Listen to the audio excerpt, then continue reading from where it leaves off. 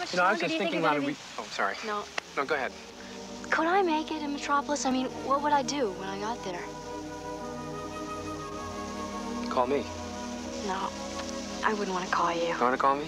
Yes, I mean, yes, I want to call you, but I, I, I mean, I wouldn't want to be a nuisance to you. I don't think you could ever be a nuisance to me. Clark is the person I grew up with, and, and I can talk to him. And there's sort of a lost feeling about that, that here's this wonderful person. I didn't, I was so into being popular and being with the football hero that I never, I never saw what was right there. And I, you know, there's that bitter, bittersweet quality about it, I think. There you go. If I were you, I'd put a little iodine on that.